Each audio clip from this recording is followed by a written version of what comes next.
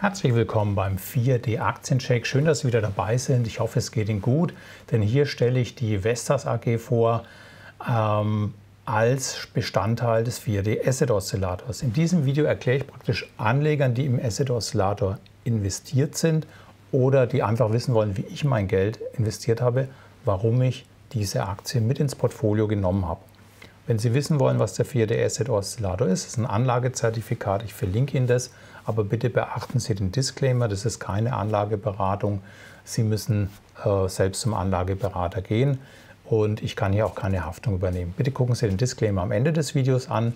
Wir schauen uns jetzt erstmal an, wie Sie herausfinden, welche Aktien wo sind. Wenn Sie auf die Homepage gehen, www.asset-oszillator.de, dann landen Sie hier auf der Homepage, die sich gerade hier hinter mir aufbaut. Wenn Sie auf Portfolio drücken, dann sehen Sie das Aktienportfolio, das von Herbst bis Sommer stattfindet und in den gefährlichen Monaten August, September, Oktober ist meine Anlagestrategie Anleihen zu nehmen. Also das ist eine saisonale Anlagestrategie, die immer eben vom Herbst bis Juli, also im Großteil des Jahres, komplett in Aktien investiert ist und die stelle ich jetzt hier vor. Und heute schauen wir uns an die Vestas Wind AG. Wenn Sie hier auf den Namen drücken, dann landen Sie automatisch auf der Seite der Vestas Wind AG. Wie Sie sehen, da geht es um Windräder. Die stellen Windräder her, Windparks, Offshore-Lösungen und so weiter. Also alles rund um Windkraft. Hier sind die Produkte. Gehen Sie mal auf die Homepage, gucken Sie es an. Also da ist alles Mögliche. Die Turbinen werden hergestellt und, und, und. Also alles, was mit Windkraft zu tun hat. Und das ist natürlich ein ganz, ganz wichtiger Bestandteil für die Energiewende, für den Klimaschutz. Und äh, da sage ich gleich nochmal was zu, warum ich glaube, dass da echt viel Wachstumspotenzial drin ist. Also hier natürlich ganz, ganz nachhaltig. Das ist mir ja immer sehr, sehr wichtig, denn nur so können wir was bewegen, wenn wir unser Geld nachhaltig anlegen und uns natürlich auch nachhaltig verhalten im Konsum. Wenn wir hier auf die ISIN drücken. Sie sehen an der Hand dem zwei Buchstaben DK, das ist ein dänisches Unternehmen. Dann landen Sie automatisch bei OnVista. Sie können natürlich auch die ISIN überall woanders angeben. Dann sehen Sie die Vestas Wind Systems, heißt es lang ausgesprochen. Ich sage nur kurz Vestas AG. Und da sehen Sie schon mal anhand des KGVs von 41, das ist kein Value-Titel. Die ist sogar ziemlich teuer mit dem KGV von 41. Dividende 0,48. Ja, das ist ja weniger als bei der Bank, weniger als beim Tage, Tagesgeld und so weiter. Also auch die rockt nicht so richtig. Warum will man die Aktie trotzdem im Portfolio haben? Und Sie werden gleich sehen, dass es viele gibt, die die im Portfolio haben wollen. Das sind die Wachstumsraten. 21 war es nichts mit Wachstum, da ging der Gewinn um 78 Prozent zurück. Äh, vorher hat man mal 73 Gewinn, 42 Prozent Gewinnwachstum, dann ging es leicht zurück oder moderat, dann nur wenig Wachstum, dann richtig zurück.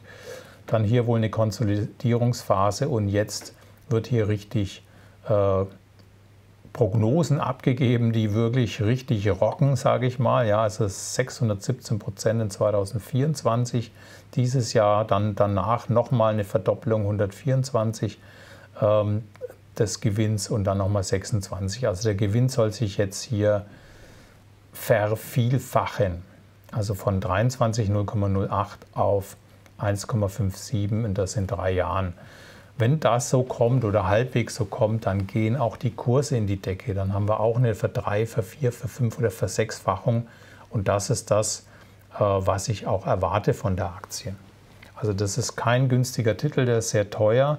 Ähm, daran sieht man schon, dass es viele gibt, die das erwarten und deswegen schon investiert sind. Wie ich auch. Ja, die Dividendenrendite soll ein bisschen hochgehen auf 1,5 ist ja nett, aber das interessiert eigentlich keinen so richtig, sondern die sollen die Gelder lieber nehmen, um auszubauen, um ihre Werke zu vergrößern. Auch am Kurs-Buchwert-Verhältnis von 8,98 sieht man, der Titel ist einfach teuer, aber kann ganz schnell billig werden, wenn nämlich tatsächlich in 24 der Gewinn sich versechsfacht, dann haben wir auch nur noch ein Sechstel des KGVs, wenn der Kurs nicht gleich mitzieht. Dann ist es nicht teuer gewesen. Das Ähnliche haben wir bei wieder gesehen äh, in 23. Ja, ein KGV von 400 im, im, äh, im, im, zweiten Quartal, im dritten Quartal den Umsatz irgendwie auch versechs- oder versiebenfacht. Tja, plötzlich ein KGV von 24. Ja, Eigenkapitalrendite ist natürlich nicht da, weil eben 22 waren Verluste, dann ist es natürlich negativ, aber wir hatten hier schon eine Eigenkapitalrendite von 23 Prozent, 28 und so weiter und das wird sich auch wieder einstellen. Also das ist wirklich ein Titel, der in die Zukunft geht. Verschuldungsgrad, Eigenkapitalquote 15 Prozent, das ist natürlich enorm. Das heißt, wenn jetzt Wachstum nicht so kommt, ähm, dann kann es da schwierig gehen würde ich mir aber jetzt bei dem Unternehmen wirklich keine Sorgen machen. Denn wenn Sie sehen, wer investiert ist, da wird es dann sicher Lösungen geben, wie man das finanzieren könnte, wenn dann doch mal ein Loch entstehen würde. Hier nochmal eine Beschreibung, klar, dänisches Unternehmen. Und schauen wir mal, wer da alles investiert ist.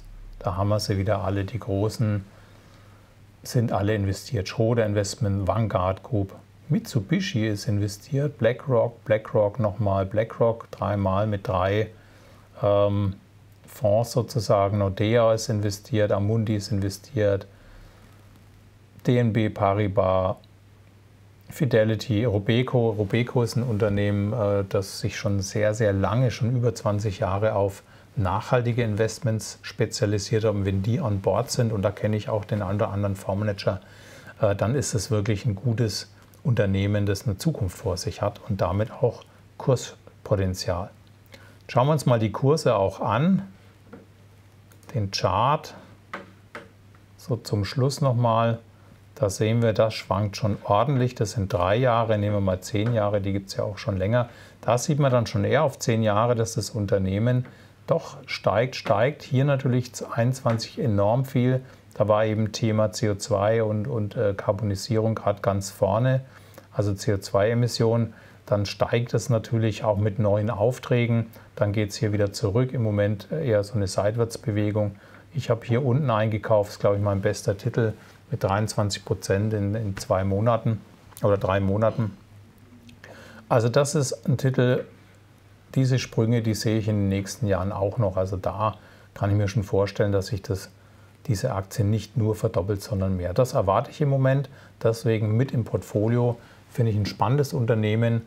Und Windkraft ist natürlich ganz, ganz wichtig, weil wir mit Solarenergie ja immer nur tagsüber Strom herstellen können und nachts irgendwie, da brauchen wir aber mehr Strom. Das heißt, da braucht man einen Ausgleich, äh, nachdem die Speicherung ja immer noch ein Problem macht.